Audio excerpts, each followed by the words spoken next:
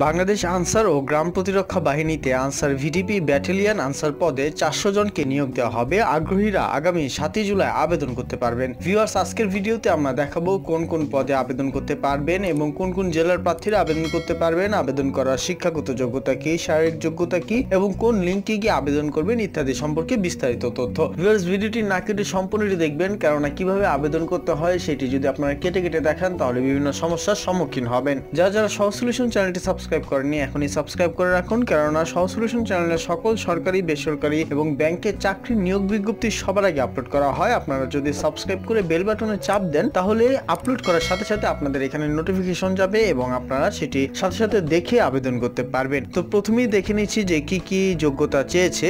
পদের নাম battalion answer পদ সংখ্যা চারশোটি শিক্ষাগত যোগ্যতা এসএসসি বা সমমান পাস। বয়স সাতই জুলাই দুই হাজার বাইশ তারিখে আঠারো থেকে বাইশ বছর হতে হবে। শারীরিক যোগ্যতা সাধারণ ও অন্যান্য প্রার্থীদের উচ্চতা পাঁচ ফুট ছয় ইঞ্চি, ওজন উনপঞ্চাশ দশমিক আটশো পঁচানব্বই কেজি, বুকের মাপ বত্রিশ থেকে চৌত্রিশ ইঞ্চি। উপজাতিদের উচ্চতা পাঁচ ফুট চার ইঞ্চি, ওজন সাতচল্লিশ দশমিক একশো তিয়াত্তর কেজি, বুকের মাপ তিরিশ থেকে বত্রিশ ইঞ্চি। প্রার্থীদের দৃষ্টিশক্তি ছয় বাই ছয়। অযোগ্যতা, দুরারোগ্য ব্যাধি থাকলে আবেদনের প্রয়োজন নেই, বৈবাহিক অবস্থা অবিবাহিত হতে হবে। প্রার্থীর ধরন হতে হবে পুরুষ। আবেদনের নিয়ম, আগ্রহী প্রার্থীরা W dot Ansar VDP dot gov dot BD এর মাধ্যমে আবেদন করতে পারবেন। এই ওয়েবসাইটে ক্লিক করার পর এমন একটি ইন্টারফেস আসবে। এখান থেকে আপনারা নোটিশ বোর্ডের প্রথম যে অপশনটি রয়েছে, এখানে ক্লিক করবেন। এখানে ক্লিক করার পর এখানে দেখবেন তেইশতম পুরুষ ব্যাটালিয়ন আনসার রিক্রুটমেন্ট দুই সংক্রান্ত বিজ্ঞপ্তি। এখান থেকে যে তেইশতম ব্যাচের যে পিডিএফ ফাইলটি আছে, সেটি আপনারা ডাউনলোড করে এখানে আপনারা নিয়োগ বিজ্ঞপ্তিটি দেখতে পারবেন। এখন আমরা দেখিয়ে দিচ্ছি বিজ্ঞপ্তিটিতে আরও কিছু বিস্তারিত তথ্য।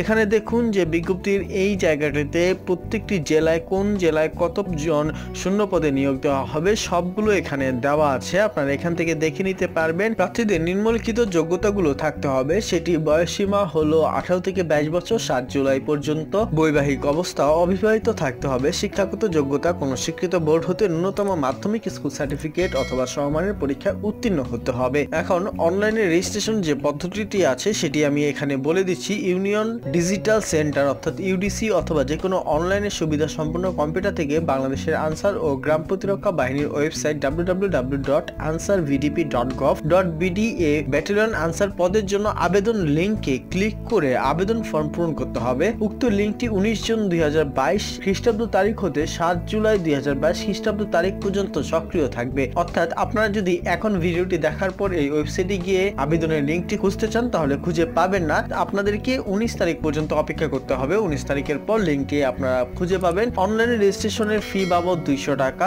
আবেদন পোর্টালে প্রদর্শিত বিকাশে রকেটে অথবা মোবিকেশের ইত্যাদির মাধ্যমে জমা দিতে হবে অফারের যোগ্য। অর্থাৎ এই টাকাটি আপনি জমা দেওয়ার পর টাকাটি আর ফেরত পাবেন না। আবেদনকালে আবেদনপত্র দাখিল ও ফি পরিশোধ সংক্রান্ত কোনো সমস্যা হলে পরামর্শের জন্য এখানে একটি নম্বর দেওয়া আছে, সেই নম্বরে যোগাযোগ করতে হবে।